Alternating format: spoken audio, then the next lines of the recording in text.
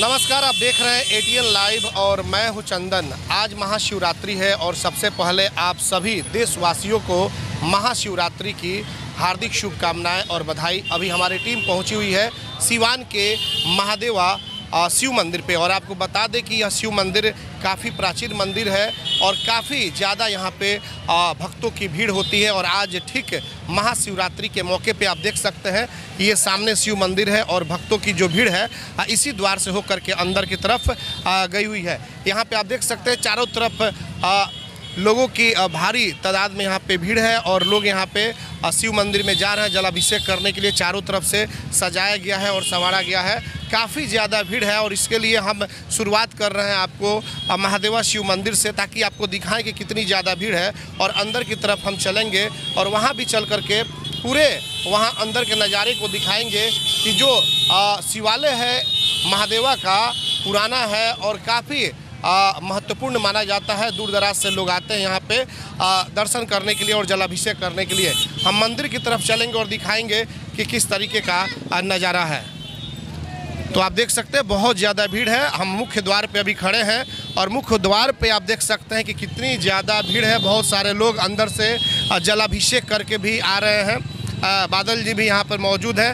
कितनी ज़्यादा भीड़ है? अभी तो मुख्य द्वार पर यहाँ देखने के बाद लग रहा है कि बहुत ज़्यादा भीड़ है। क्या लग रहा है? कितनी ज़्यादा देखिए हम लोग हर साल महादेवा शिव मंदिर में शिवरात्रि को आते हैं लेकिन इस बार सबसे ज़्यादा भीड़ है। इतना भीड़ हम लोग कभी नहीं देखे थे। आप देखेंगे कि एकदम जो मुख्य द्वार है यहीं से लोगों लोगों का लाइन लगा हुआ है।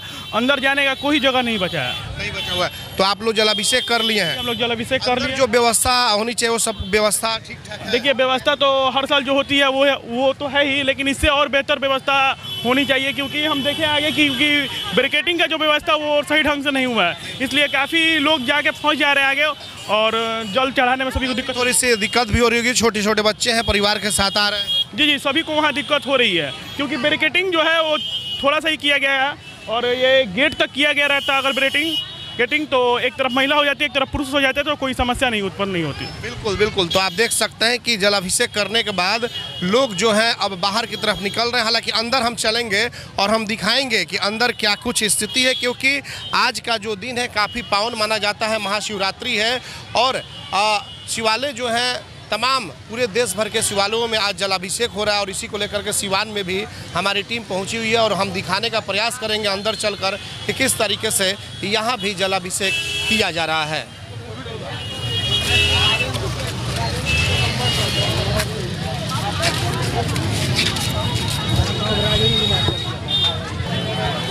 बिल्कुल, अब महादेवा शिव मंदिर के अंदर हम लोग प्रवेश कर रहे हैं और आप देख सकते हैं यहाँ पे कि, बताइए, क्या कहना चाह रही हैं?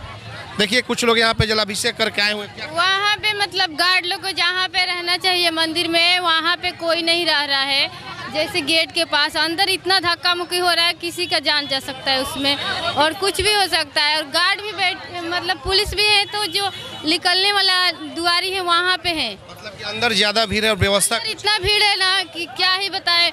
और ये बच्चा उच्चा लेकर तो जाने का बिल्कुल ही नहीं समस्या है। जलाभिषेक कर दी हाँ कर दिए लेकिन उसमें आधा घंटा खड़े थे कोने में और उसके बाद से कि ये क्योंकि इतना धक्का मुक्की आप लोग जलाभिषेक कर दिए जी हाँ हम जलाभिषेक कर क्या स्थिति अंदर की? हम लोग भी हालाँकि मतलब सिस्टम ठीक है एक बार एक बार पुरुष को छोड़ा जा रहा है लेडीज़ को छोड़ा जा रहा है कोई दिक्कत नहीं है।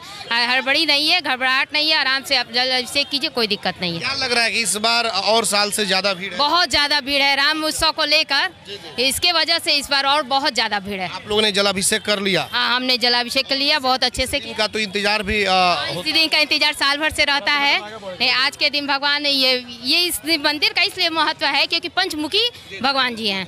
इसलिए इस मंदिर का ज़्यादा महत्व है इसलिए हम लोग आते हैं यहाँ जल चढ़ाभिषेक करते हैं मनोकामना पूर्ण होती है।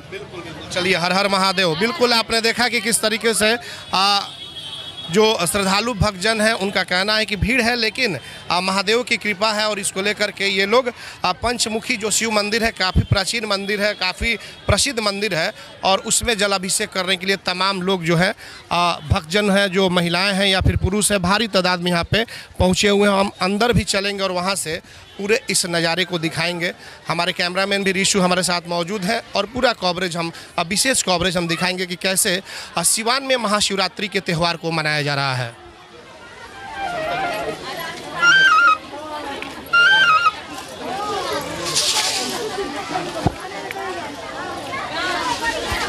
तो धीरे धीरे अब अंदर की तरफ़ हम प्रवेश कर रहे हैं और ये भीड़ आप देख भी सकते हैं। हालाँकि भीड़ जो है धीरे धीरे बढ़ रही है जैसे जैसे सुबह से लगातार यहाँ पे लंबी लाइन यहाँ पे आ, लोगों की आगे बढ़ते रहिए।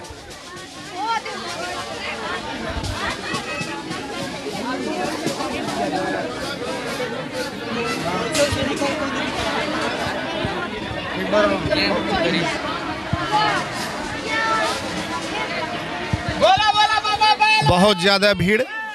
सिवान के पंचमुखी मंदिर जो कि महादेवा में स्थित है, काफ़ी प्रसिद्ध मंदिर माना जाता है।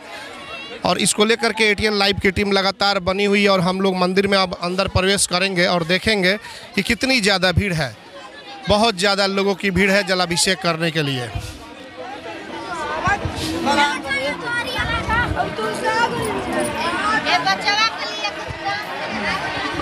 अब हम लोग मंदिर के तरफ़ प्रवेश कर रहे हैं और आ, जो मुख्य द्वार था आगे उसके बाद से हम लोग दूसरे द्वार पे प्रवेश कर गए और आप देख सकते हैं यहाँ पर भी कि अब भीड़ जो है यहाँ से अंदर भी बहुत ज़्यादा भीड़ है और सुरक्षा को लेकर के कुछ यहाँ पे आ, होमगार्ड्स के जवान भी लगाए गए हैं लेकिन अंदर चलेंगे।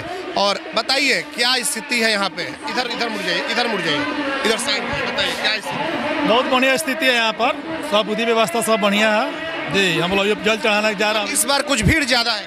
बहुत पहले से तो बहुत ज़्यादा भीड़ है इसमें राम महोत्सव को लेकर आदमी बहुत ज़्यादा ज़्यादा आक्रोशित है जल चढ़ाने के लिए। जी। लोगों बिल्कुल आप लोगों में लोगों में बहुत ज़्यादा उत्साह बना भी देखा जा रहा है। लोगों में बहुत ज़्यादा उत्साह है और इसको लेकर के आप देख सकते हैं यहाँ पे कि तमाम प्रशासनिक पुलिस जो सुरक्षा बल हैं ये लोग भी लगे हुए हैं ताकि भीड़ पे काबू पाया जा सके। तो ये हम भीड़ दिखा रहे हैं। मुकेश जी क्या स्थिति है मंदिर? तो बिल्कुल आप देख सकते हैं यहाँ पे धीरे धीरे जो श्रद्धालु भक्तजन हैं इधर से आ भी रहे हैं जलाभिषेक करने के बाद और कुछ लोग जा भी रहे हैं। तो ये स्थिति है और मंदिर अंदर सजा हुआ है। हम सीधे अब मंदिर की तरफ़ रुख करेंगे। और वहाँ अंदर चलेंगे और वहाँ अंदर भी लोगों से बात करेंगे और शिवालय में भी चलेंगे देखेंगे कि किस तरीके से जो श्रद्धालु भक्तजन हैं कैसे यहाँ पे इतनी भारी भीड़ के बावजूद जलाभिषेक करने के लिए पहुँचे हुए हैं। हमारे सहयोगी रिशु के साथ चंदन कुमार एटीएन लाइव